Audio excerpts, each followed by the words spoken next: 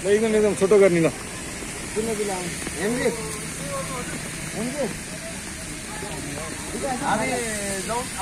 ल ल ल। हेमराजीबाट सुरुवात गरौँ है हेमराजी यतापट्टि आउनु न बिसनाले बिचमा राख्नु ल आउनु त ल ल ल ल हेमराजी।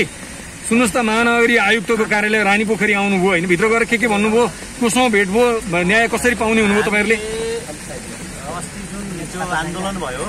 हजुर। त्यो आन्दोलनमाथि चाहिँ प्रहार गरियो नि। होइन जनताको अथवा नागरिकको स्वतन्त्र बोल्न पाउने अधिकार मानव अधिकार जस्ता जसरी हनन गरिएको थियो नि त्यो हनन गरिएपछि सर्वत्र प्रहरी प्रशासन र सत्ताको सत्ताले गरेको दमनको विरोध भयो। होइन सत्ताले गरेको दमनको विरोध भइसकेपछि के अरे प्रहरीले चाहिँ अथवा प्रहरी प्रधान कार्यालयबाट के भयो भने तपाईँको हाम्रो किरण बज्राचार्य एसएसपीको नेतृत्वमा एउटा छानबिन कमिटी बनाइयो।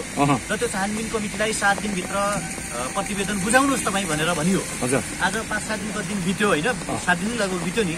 बितिसकेपछि हामी उहाँलाई बुझ्न आयौँ कि के भइरहेको छ र प्लस हाम्रो भेट पनि भएको थिएन। हामीले हाम्रो तर्फबाट उहाँहरूलाई निवेदन पनि दियौँ कि मानवता अथवा मानव अधिकार हनन हुने गरी जस्तो प्रहरी मेरो साथी भनिएको छ मुस्कान सहितको सेवा भनिएको छ मास न्युट्रिलाइजेसन कसरी गर्ने मासलाई कसरी कन्ट्रोल गर्ने कसरी नियन्त्रण गर्ने अनि कसरी चाहिँ मान्छेलाई गिरफ्तार गर्ने लगायतका कैयौँ कुराहरू को के को अभाव भयो कसरी ल्याक भयो कसरी चाहिँ यो कुराको अभाव भयो त होइन अन्तर्राष्ट्रिय नियमहरू छन् कानुन छन् होइन फौजदारी अपराधमा लागेकालाई कसरी नियन्त्रण गर्ने आस्थाका बन्दीहरूलाई अथवा आस्थाका आधारमा मान्छेलाई कसरी नियन्त्रण गर्ने आन्दोलनबाट मान्छेलाई कसरी कन्ट्रोल गर्ने लगायतका कैयौँ कुराहरू चाहिँ नेपाल प्रहरीले सिक्न र जान्न आवश्यक छ भन्दाखेरि उहाँ पोजिटिभ हुनुहुन्छ। उहाँलाई हामीले निवेदन पनि दिएका छौँ र हाम्रो माग छ त्यो घटनामा नेतृत्व गरेको त्यो प्रहरीलाई लिडिङ गरेको डिएसपी जो जो हुनुहुन्छ उहाँहरूलाई निलम्बन गरेर छानबिन गरियोस् र नागरिकहरूलाई न्याय दियोस्। जसरी नारी महिला प्रदर्शनकारीहरूमाथि पुरुष प्रहरीहरूले आक्रमण गर्नुभएको छ गिरफ्तार गर्ने प्रयास गर्नुभएको छ रक्ताम्य हुने गरी यो लोकतन्त्र हो कि यो चाहिँ तानासाही तन्त्र हो होइन? प्रहरीलाई चाहिँ नागरिकहरूले साथीको रूपमा एक्सेप्ट गर्नुपर्ने ठाउँमा तपाईँको अ, वर्दीवाला गुन्डा भनेर भोलि मान्छेहरूले व्याख्या गर्न थाल्नुभयो र वर्दीवाला गुन्डा भनेर भोलि मान्छेहरूले त्यो तरिकाले विश्लेषण गर्न थाल्नुभयो भने प्रहरी र पब्लिक बिचको रिलेसन बिग्रिन्छ र यसले नराम्रो चाहिँ सन्देश जान्छ भन्ने तरिकाले हामीले उहाँहरूलाई ट्रिट सम्झाएका छौँ उहाँहरूलाई ज्ञापन पत्र बुझाएका छौँ र उहाँहरूले भन्नुभएको छ हामी छानबिन गर्न तयार छौँ र हामी निष्पक्ष तरिकाले मेरो आफ्नै नेतृत्वमा छानबिन टोली बनेको हुनाले हामी न्याय नमर्ने गरी छानबिन गर्छौँ र प्रतिवेदन सार्वजनिक गरेर आवश्यक दोषीलाई चाहिँ कारवाही गर्छौँ भनेर अभिव्यक्ति दिनुभएको छ। त्यो अभिव्यक्ति सुनेर तपाईँहरू दङ्ग परेर फर्किनु दङ्ग परेको छैनौँ। हामीले भनेका छौँ हाम्रो त सत्तासँगको लडाइँ हो नि। आज सत्ताले कसरी निर्देशन दियो त। सत्ताले शान्तिपूर्वक आन्दोलन गर्ने मान्छेहरूमाथि प्रहार गर्नुहोस् ठोक्नुहोस् भनेर दिने सत्ताका विरुद्धको लडाइँ त हाम्रो जारी छ नि। हामी कहाँ दङ्ग परेका छौँ? हामी त त्यो प्रतिवेदन हेर्छौँ। त्यो प्रतिवेदन हेरिसकेपछि हामीले राष्ट्रिय मानव अधिकार आयोगमा पनि मुद्दा दर्ता गरेका छौँ। हाम्रा साथीहरूले त्यहाँ पनि मुद्दा दर्ता गर्नुभएको छ। दङ्ग पर्ने कुरै छैन नि। त्यति भनेर दङ्ग पर्ने भयो भने त हामी मानव अधिकारमा मुद्दा हाल्ने हाल्ने थिएनौँ। भोलि त्यो कुराको सुनवाई भएन भने हामी युनाइटेड नेसनमा सम्म पनि जान सक्ने त्यो तरिकाले जाँदैछौँ। तर अहिले उहाँहरू नेपाली नागरिक हुनुको नाताले तपाईँ हाम्रो दाजुभाइ प्रहरी भनेको कुनै चाहिँ अमेरिकाबाट आएको बेलायत जापानबाट आएको शक्ति त होइन त्यो चिज त्यो जिनिस त्यो इलियन त होइन नि त। हाम्रै दाजुभाइहरू हाम्रै आफन्तहरू हाम्रै छिमेकीहरू चाहिँ त्यहाँ हुनुहुन्छ त्यो ठाउँमा। त्यसकारण उहाँहरूले चाहिँ कसरी चाहिँ त्यो अपराधमा संलग्न अथवा त्यो मानव अधिकार हनन हुने गरी महिला अधिकार हनन हुने गरी एक्टिभ भएको मान्छेहरूलाई चाहिँ के किसिमको कारवाही गर्न सकिन्छ भन्ने कुरा चाहिँ हामीले बुझ के अरे हामी त्यो प्रतिवेदन हेर्छौँ र त्यसपछि तपाईँहरू कुलमान घिसिङको पुनर्नियुक्तिको माग गर्दै सडकमा आउँदा मानव अधिकार हनन हुने गरी प्रहरीले कुट्यो त्यसमा दुविधा छैन होइन? स्पष्ट देख्न सकिन्छ। तर तपाईँहरूलाई त पाखेहरूको झुन्ड भनियो पाखे भनियो नि। ए हो एउटा कुरा तपाईँ हामीले नर्मल्ली बुझ्ने कुरा के हो भने पखेरो वा पाखाको छेउछाउतिर जन्मेको मान्छे पाखे नै हो नेपाल पखेराले भने त हो नि। तर तर सिंहदरबार र बालुवा टारले त्यो शब्दलाई सहरका इलिटहरूले। विशेष त्यहाँ सामन्तवादीहरूले त्यो शब्दको परिचालन त्यो शब्दको युटिलाइजेसन कसरी गर्छन् भन्ने हो क्या। त्यो शब्दको बिम्ब के हो त्यो शब्दको मानक के हो यो सूर्य थापासँग हाम्रो लेनादेना छैन। सूर्य थापालाई व्यक्तिगत रूपमा भन्ने हो भने मैले र हाम्रो टिमले चिन्न आवश्यक छैन तर देशको शासन सत्ता सम्हाली सम्हालिराख्नु भएको जसले चाहिँ नागरिकको मत लिएर देशको कार्यकारी राष्ट्र प्रमुख अथवा देशको प्रधानमन्त्री बनेको जनताको सेवकको आधिकारिक धारणा सार्वजनिक गर्ने। प्रधानमन्त्रीले बोल्ने कुरा प्रधानमन्त्रीले दिने अभिव्यक्तिहरूलाई बाहिर ल्याउने व्यक्ति जो हुनुहुन्छ उहाँले बोलेको अभिव्यक्तिले आज सिंहदरबार र बालुवाटार चाहिँ तपाईँको सामान्तवादको केन्द्र भएको देखिन्छ अथवा सिंहदरबार र बालुवाटारलाई इलिटहरूले किनिसकेको देखिन्छ क्या? त्यसकारण सामान्तवादका विरुद्धमा तपाईँ हामीले लड्न आवश्यक छ र जसले हामीलाई पाखे भन्नुभएको छ मेरो आज पनि तपाईँको मिडिया मार्फत आग्रह छ प्रधानमन्त्री तपाईँ जनताले निर्वाचित गरेको प्रधानमन्त्री हो। प्रधानमन्त्री साहेब यदि तपाईँले तपाईँको बालुवाटारमा पालेर राखेको कुकुरलाई तपाईँले रेबिसको सुई दिएर ठेगानामा लाउनु भएन भने तपाईँको कुकुर बौलाइसकेको छ। यो कुकुरलाई टोक्न अरूलाई रोग लाउन फेरि नछोड्नुहोस्। यसले तपाईँ र तपाईँको पार्टीलाई निकै घात गर्नेछ।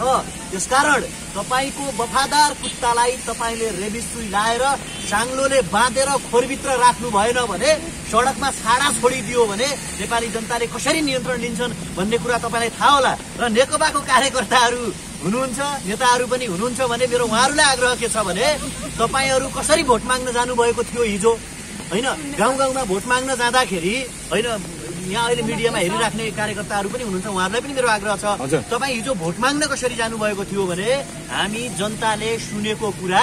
जनताले बोलेको कुरा पुरा गर्नेछौँ हामी। जनताको सेवक हौँ जनताका आग्रहहरू जनताका विचारहरूलाई जनताका भावनाहरूलाई कदर गर्नेछौँ भनेर भोट मागेको हो नि त आज तिनै जनता जसले चाहिँ शान्तिपूर्ण आन्दोलन गरे आज तिनै जनता हिजो दुई एक महिना अगाडि आजलाई होइन भोलिलाई। मेरो पाँच वर्ष भोलिलाई भनेर सुरक्षा सहित सडकमा आन्दोलन गर्दाखेरि सत्य हुने तिनीहरू सभ्य हुने अनि कुलमान घिसिङको पक्षमा आन्दोलन गर्दाखेरि असभ्य र पाखे जुन इलिट सामान्तवाद र सहरका नवसामान्तहरूले प्रयोग गर्ने भाषा छ त्यो भाषाको बिम्ब अथवा त्यो भाषाको शिकार तपाईँ हामीलाई बनाउन मिल्छ? कतिपयले त सूर्य थापाले ठिकै भने पनि भनेका छन् नि कार्यकर्ताहरूले बुझ्न के आवश्यक छ भने भोलि आगामी दिनमा फेरि चुनाव हुन्छ। त्यो चुनावको बेला चाहिँ पाखेहरूसँग भोट माग्न कसरी जानुहुन्छ तपाईँ? तपाईँ त जनताको सेवक हो। जनताको मत लिएर बालुवाटारमा पुग्नु भएको पाखेको मतले तिनै पाखेको पाखेहरूले हालेको मतले चाहिँ सिंहदरबार र बालुवाटारमा जाने.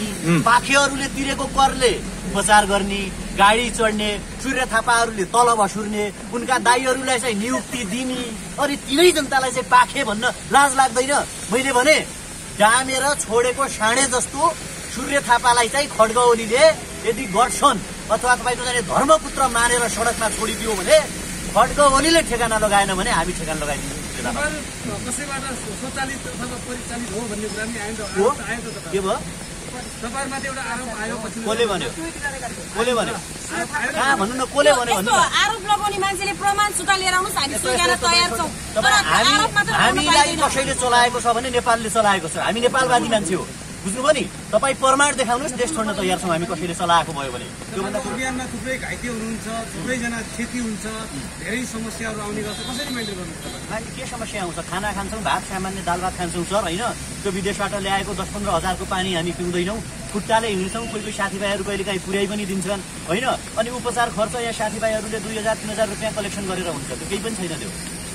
होइन प्रश्न सोद्धाखेरि यस्तो उपचारमा समस्या पऱ्यो भने हामी पनि सहयोग गरौँला। के छ भने मसँग यस्तो हाम्रो टिमसँग प्रश्न यस्तो सोध्नेले बालुवाटार गएर केपिओललाई तपाईँले सत्तरी करोड खानेलाई किन धर्मपुत्र बनाएको भनेर तपाईँहरू सोध्न सक्नुहुन्छ? भयो। दस अरब कता गयो भनेर प्रश्न सोध्न सक्नुहुन्छ तपाईँहरू? यो देश तपाईँको होइन। तपाईँहरूले बोल्ने अधिकार छैन तपाईँहरूले देशको लागि जिम्मा लिनु पर्दैन। समाजमा बोलिरहेका छन् उनीहरूलाई चाहिँ आरोप लाउँदै हिँड्ने तपाईँहरूले। भनेपछि त्यो आरोपको अर्थ छैन भन्नु खोज्नुभयो ठिक हो कि संसारका तानासाहरूले जब सत्ताको उन्मादमा चढेकाहरूले च्युत हुन थालेका मान्छेले पतन हुन थालेका मान्छेहरूले आफ्नो सत्ता डगमगाइसकेपछि।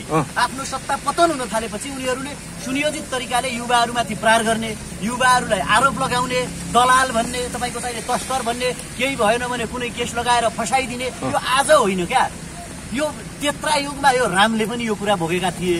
होइन कंस र कृष्णको लडाइँमा पनि तपाईँ यो कुरा भेट्नुहुन्छ। पाण्डव र कौरवको हस्तिनापुरको लडाइँमा पनि तपाईँ यो कुरा देख्नुहुन्छ भने। अहिलेका खड्गौली प्रचण्ड बाबुराम भट्टराई शेरबहादुर देउवाहरू त कुन न्याङको मुला हुन् र भने क्या ल ठिक छ अब यो कुलमान घिसिङको पक्षमा गरिएको आन्दोलन तपाईँहरूमाथि ज्यादती बढे पछाडि अहिले रोकिएको छ। अब के हुन्छ? सकियो आन्दोलन यो आन्दोलन कुलमान घिसिङ नामसँग होइन क्या सर? यो सत्ताको क्यारेक्टरसँगको आन्दोलन हो। यो सत्ताको चरित्रसँगको आन्दोलन हो। यो सत्ताको निरङ्कुशतासँगको आन्दोलन हो क्या। जबसम्म युवाहरूको सत्ता स्थापना हुँदैन जबसम्म सत्यको सत्ता स्थापना हुँदैन जबसम्म नेपाली नागरिकहरूले न्याय पाउँदैनन् जबसम्म वैदेशिक रोजगारीको अन्त्य हुँदैन अथवा जबसम्म यो देश समृद्ध बन्दैन जबसम्म यो देश विकसित हुँदैन तबसम्म यो आन्दोलन चलिरहेको छ क्या। यो त इभरग्रिन प्रोसेस हो नि। यो। त प्रोसेस हो। आज अमेरिका संसारको शक्तिशाली राष्ट्र। अमेरिकामा वाल स्ट्रिट कब्जा आन्दोलन चल्यो। योभन्दा पहिले पछि अहिले रेसिजमको आन्दोलन चलिरहेको छ।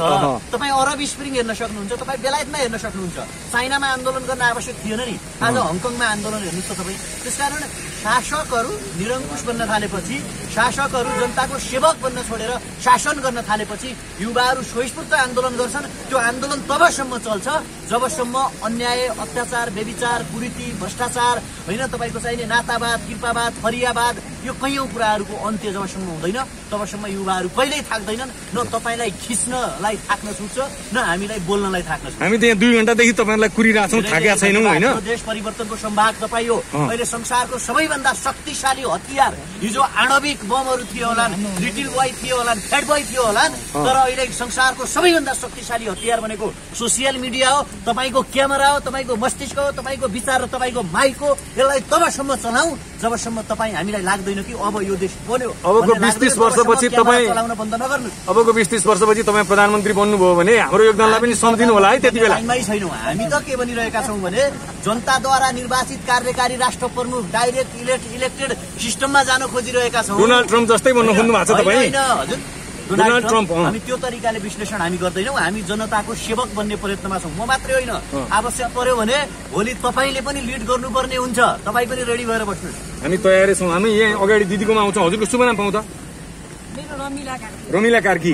ट्रमा सेन्टरमा निकै लछार पछार गरेर तपाईँलाई घिसारेर चाहिँ प्रहरीले गिरफ्तार गरेका थियो। आज महिला एसएसपीलाई भेटेर आउनुभयो। आशा पलायो। अब तपाईँमाथि न्याय होला भन्ने विश्वास पलायो। अलिअलि त पलाएकै छ होइन? अब न्याय अवश्य दिनुहुन्छ होला भन्ने लागेको छ। न्याय दिनै पर्छ उहाँले। हामी जस्तो अब देश र जनताको लागि लडेर हिँडेको मान्छेको लागि उहाँहरूले न्याय दिनै पर्छ त। हामीलाई हामीलाई न्याय दिएन भने त कस्तोलाई न्याय दिने त। भन्नुहोस् त। हामीलाई न्याय दिनै पर्छ तपाईँहरूको भनाइ के? प्रहरी समक्ष तपाईँहरूको माग के? हामी हाम्रो माग पुरा नहुने जेल होइन देश परिवर्तन नहुने जेल हामीले चाहिँ आफ्नो आवाजहरू चाहिँ। हामीले आवाजहरू राख्दाखेरि चाहिँ अब प्रहरी दमन चाहिँ हामीमा महिलाहरूमा बोल्न। लागेको बेला त जहाँ भनिसक्यो पुलिसले तपाईँ विश्वास न्याय पाउँछ भन्नु यो उहाँहरूको अ, कार्यकाल भित्रै छौँ नि त हामी। छैन, बाहिर हो। भन्नुभयो बाहिर भए पनि उहाँहरूको अलिकति उमै छौँ। भन्नुभयो। भन्न पाउनुहुन्न।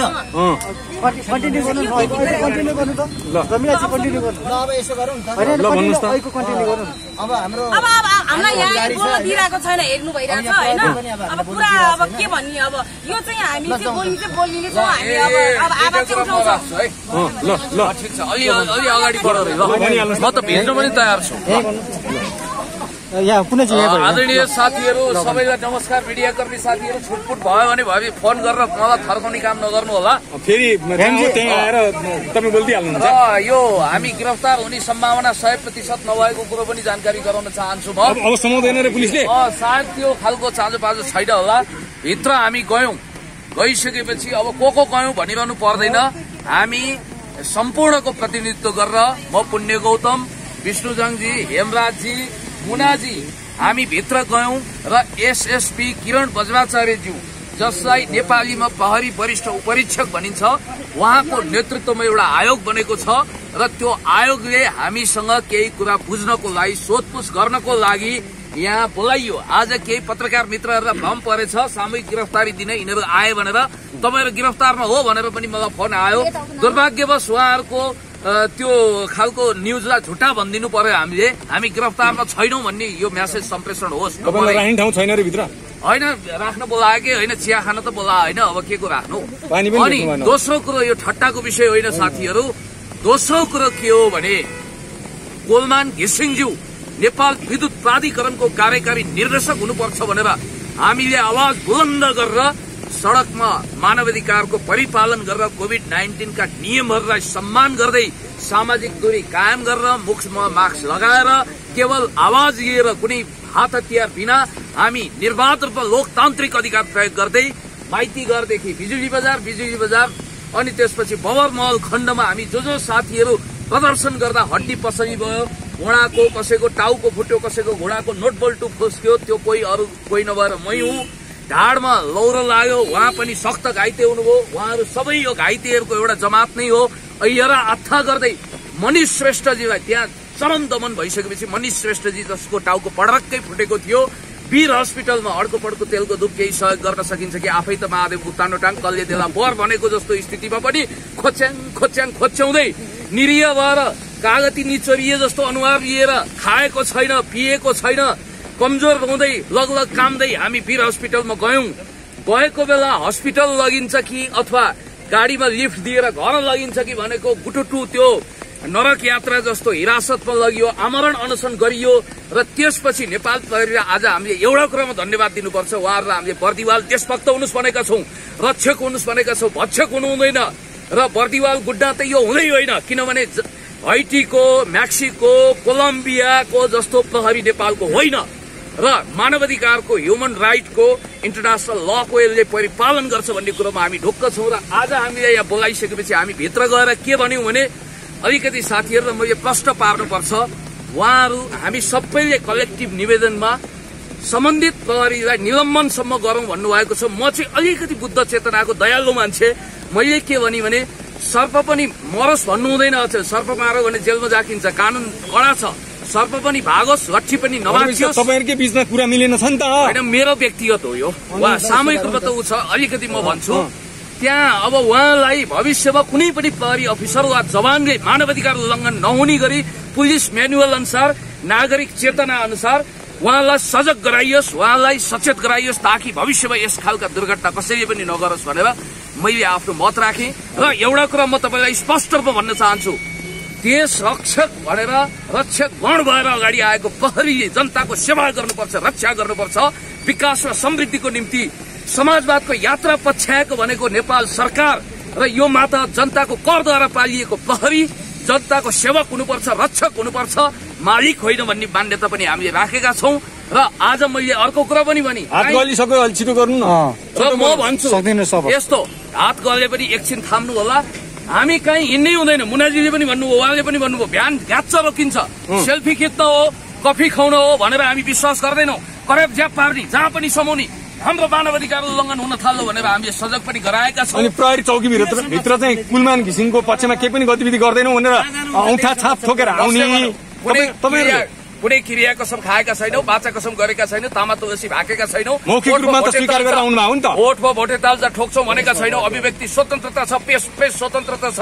निर्वाध प्रयोग हुन्छ। जहाँसम्म कुलमान घिसिङजीको बारेमा हामीले बोल्दा पाखे के के के के भनियो भन्ने सन्दर्भ छ। म एउटा कुरा तपाईँहरूले यो प्रश्न राख्नु अगाडि नै तपाईँहरूलाई सहजीकरण गर्दै के भन्न चाहन्छु भने यदि यो देशमा गरिब असहाय निमुखा कोही पाखे हुन्छ घाँटीमा टाई नलगाउनेहरू सबै पाखे हुन्छन् भने म पनि एउटा पाखे हुँ। किनभने म म। पाखामा नजन्मिएको पाखे म निजगढमा जन्मी। ती महानुभाव जो अहिले न वीरगञ्जमा जन्मिनु हो न विराटनगरमा जन्मिनु हो न काठमाडौँमा जन्मिनु हो न धरानमा जन्मिनु हो न धनकुटामा जन्मिनु हो कुनै सहरी क्षेत्रमा जन्मिएको मलाई सूचना छैन। र एउटा कुरा म तपाईँलाई भन्न चाहन्छु हामीले कहिले पनि विषयवस्तु अतिरञ्जित गर्नु हुँदैन। र म उहाँलाई उहाँ मेरो पुरानो मित्र हुनुहुन्छ। पत्रकारिताको ब्याकग्राउन्डबाट आउनुभयो। जरा जमिनमा हुनुपर्छ र देशभक्त नेपाल कम्युनिस्ट पार्टीको नामलाई हामीले कहीँ पनि रोशन गर्ने मात्रै हो। त्यस कारणले गर्दाखेरि कुलमान घिसिङज्यूलाई नेपाल विद्युत प्राधिकरणको कार्यकारी निर्देशक नियुक्त गर्नुपर्छ भनेर त सम्मान्य प्रधानमन्त्रीज्यूले पनि रियल हिरोको पालो अन्तिममा आउँछ भनेर लिस्ट तयार गरेको होला। नारायण काजी श्रेष्ठज्यू प्रवक्ताले पनि भन्नुभएको छ सम्मान्य पूर्व प्रधानमन्त्री माधव कुमार त्यस कारणले गर्दाखेरि म आशा भरोसा विश्वास राख्छु हामीले डोनाल्ड ट्रम्पवादी मान्यता पनि राख्दैनौ। हामी देशभक्त हौ। हामी आफ्नो सिद्धान्तमा चट्टान जस्तो अडान राख्छौ। तर यो जुन ढङ्गको दमन भएको छ। यसलाई हामी निन्दा भर्सना गर्दै यो सच्याएर आगामी दिनमा यस्तो नहोस् भनेर खबरदारी पनि गर्छौँ।